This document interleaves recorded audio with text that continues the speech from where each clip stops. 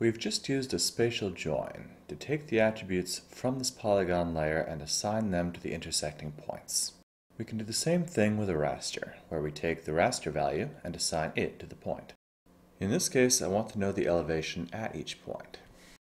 I want to search for the tool Sample Raster Values in Raster Analysis. Double click. The input layer is this joined layer, stream temperature points, the raster layer is the 10 meter digital elevation model.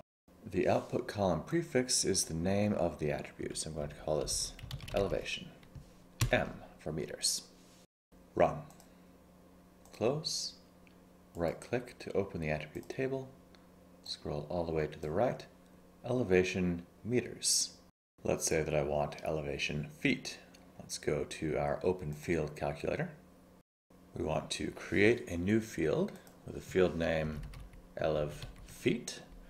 And we want that to be such that elevation meters 1 times 3.28084 to convert from meters to feet. Okay. Here we have elevation in feet. Now I've made the error here of setting this to be an integer type which does not have decimals.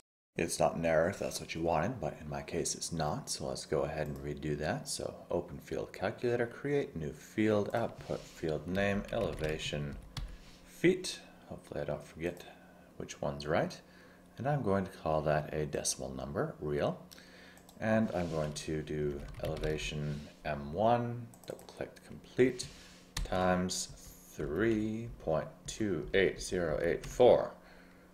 Okay, and now we have decimals.